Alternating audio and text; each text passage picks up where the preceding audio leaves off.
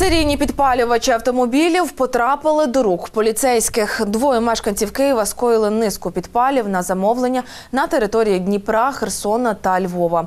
Жертвами злочинів ставали співробітники філій однієї із столичних косметологічних фірм, які насмілились після звільнення започаткувати власний бізнес у цій самій сфері послуг.